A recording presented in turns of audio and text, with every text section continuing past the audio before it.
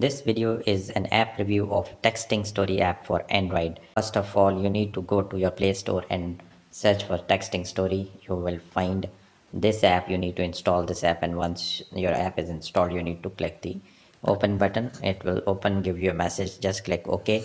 That's the interface you will have once you will open the app for the first time. On the top left, you will see the name of the person who is selected and on the top right hand side the other person with whom the selected person will make the conversation.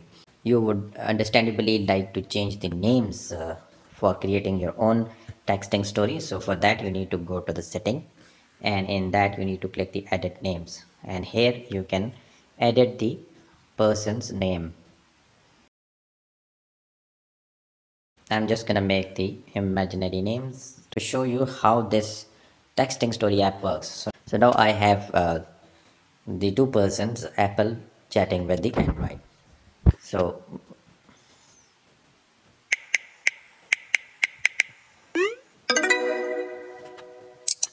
so for the reply you need to click the second person and then his story or message option will be selected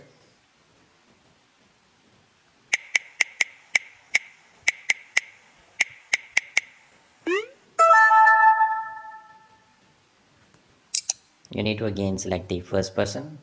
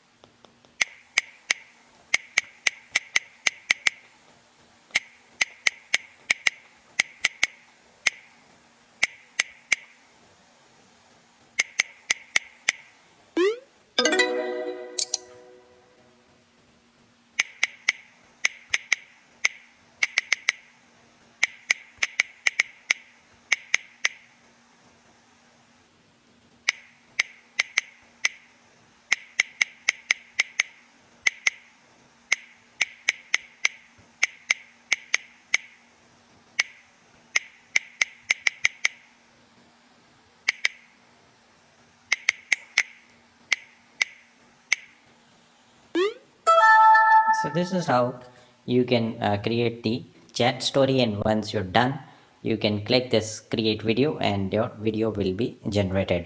It will take some time to create the video